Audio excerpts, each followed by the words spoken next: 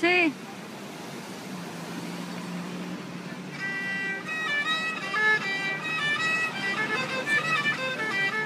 Hola amigos de Informa BTL, estoy aquí de vacaciones en, en San Francisco de luna de miel.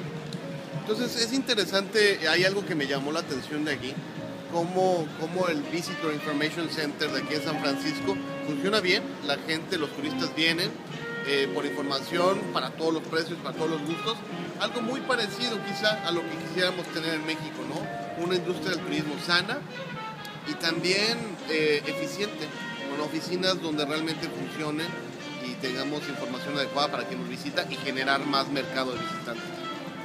Les enseño un poco más. Oficinas de turismo casi casi como en México, eh, donde la gente trabaja contenta y da información y el turista se siente, se siente acogido y con ganas de preguntar.